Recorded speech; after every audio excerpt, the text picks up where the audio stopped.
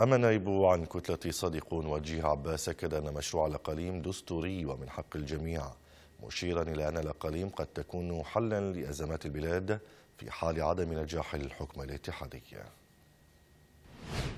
قضايا الأقاليم آه، دستورية وحددها الدستور العراقي فهم ليس آه، بدعا عن إقليم كردستان. يحق لأي ثلاث محافظات تعلن إقليمها.